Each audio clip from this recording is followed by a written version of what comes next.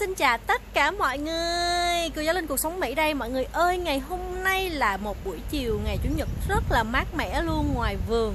À, Sau vườn của cô giáo Linh là có nhiều loại cây lắm nha mọi người nha. Dẫn mọi người đi tham quan vườn nhà cô giáo Linh nha.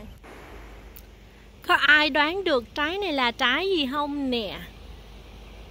À, trái mơ hả? Trái đào chứ trái đào. Ở Việt Nam mình gọi là trái đào. Trái đào gọi là gì mọi người? Peach. Peach Peach. Những cái trái đào này nó ra cũng nhiều lắm mọi người Giờ cái cây này nó ra cũng rất là nhiều trái luôn rồi mọi người. Nhìn cũng mê lắm nhưng mà nó cũng héo rất là lẹ luôn Và nó bị sâu ăn cũng rất là nhiều Và nó rụng rất là nhiều luôn á. À, Này mọi người thấy không? Lai rai rụng cũng khẩm à Cũng khẩm à Đó Đây trái đây. Đó trái cũng nhỏ nhỏ thôi cũng không có bự lắm nè cái tay của mình nè, mọi người thấy không? Look at the size. Cái size nó cũng chưa có được bự lắm.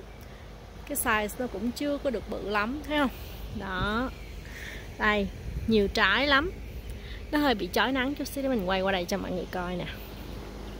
Đó. Trái đào.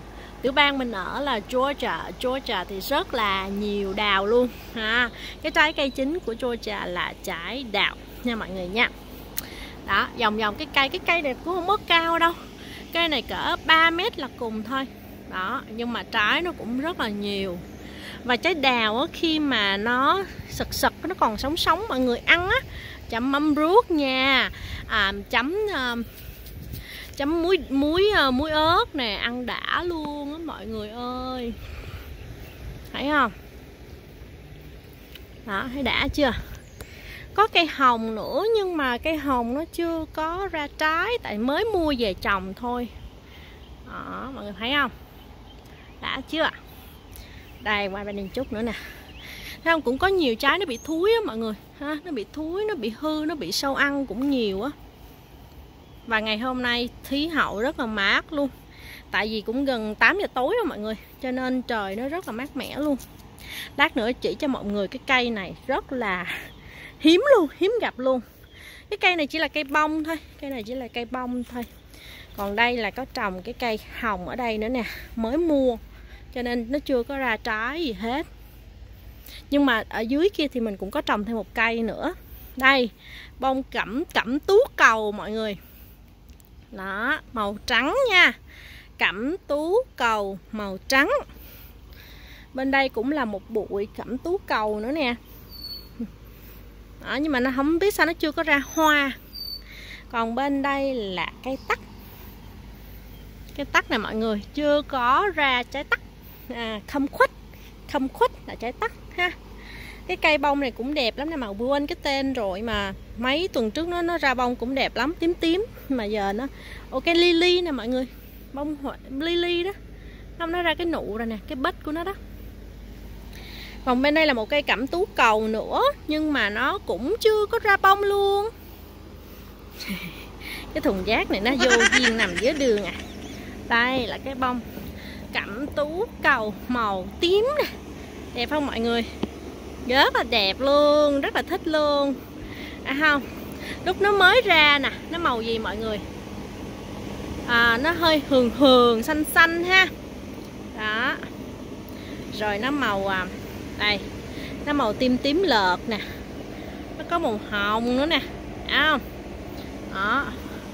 Nó có màu xanh nữa nè. Đó. nhiều màu ha. Rồi bên đây nó có màu hồng nữa nè, mọi người. Đó, bạn thấy không? Đẹp chưa? Đẹp chưa? Đưa cái mặt mình vào có đẹp không nè? Công nhận nhiều khi mình thấy mình đẹp hơn hoa luôn đó mọi người. Rồi tiếp tục nha. Bên đây là màu xanh lá cây nhạt nha mọi người nha. Cẩm tú cầu màu xanh lá cây nhạt nha mọi người nha. À à, những cây này hả? Em em em rất là thích cái cây này mọi người mong phải em trồng. Còn bên đây là cây tắc luôn cây này nó hơi lớn rồi nhưng mà nó chưa tới mùa cho nên nó chưa hay là đã đã qua cái mùa rồi cho nên nó nó hết trái rồi. Nè, hay là chuẩn bị, nó chuẩn bị có trái nè mọi người thấy không? Cái trái của nó không? Hay là nó chuẩn bị có trái rồi đó? À mà trái ra trái nhiều lắm mọi người. Nó mọc lại quanh năm luôn mọi người. Đó, nó sắp ra trái rồi. Còn bây giờ, qua đây, một cây rất là đặc biệt nha mọi người nha. Cây này là cây gì? Mọi người thấy hoa không? Hoa nó ra nè. Đó. Thấy không? Mọi người có thấy cái trái chưa? Đó, trái nè. Mọi người có đoán được cái cây gì chưa ạ? Chắc chưa đoán được đâu, không phải ai cũng trồng được đâu nha. Đây là trái bên này đẹp hơn nè, trái này đẹp hơn.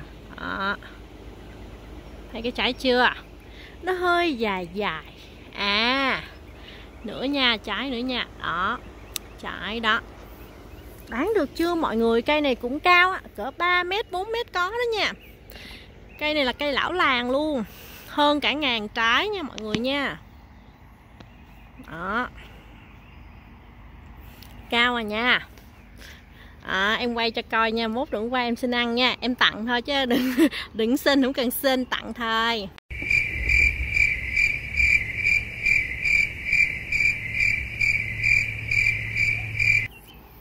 Cây này là cây táo tàu nha mọi người nha và trái rất là ngọt.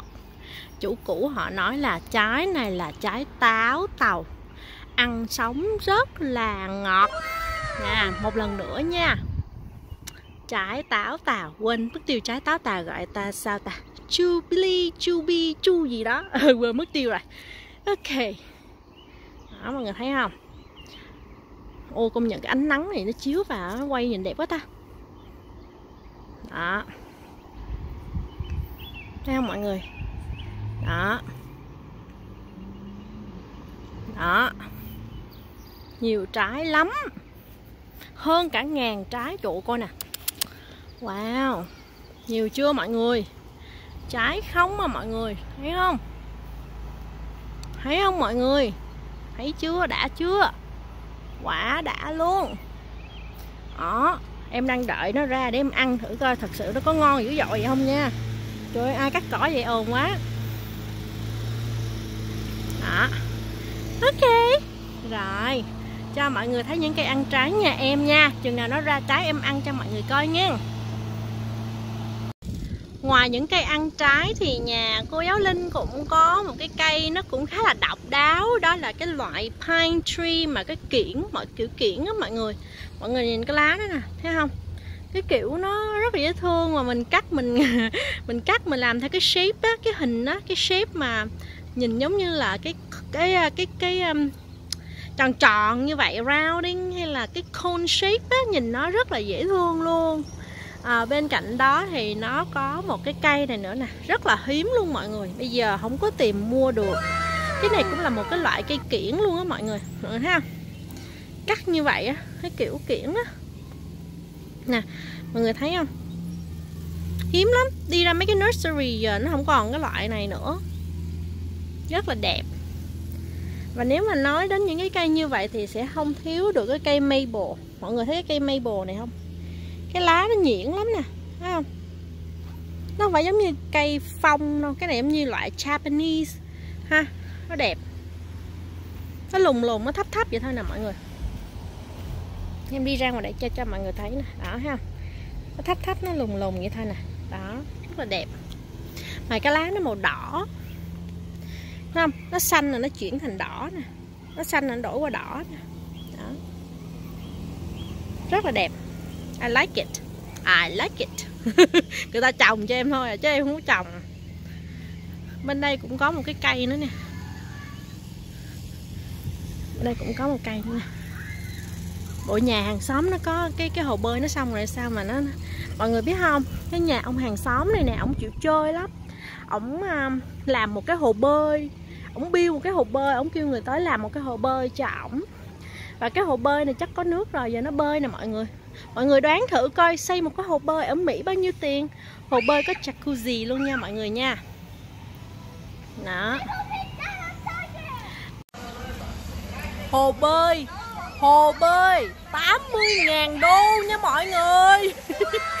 Gần cả trăm ngàn đô mọi người mà rất là chịu chơi làm tới người đào đủ thứ hết. Rồi qua nhà em hỏi làm có thể là uh, giúp bên nhà em làm cái ống dẫn nước này nọ không á luôn á mọi người. Rất là chị chi luôn nha mọi người nha.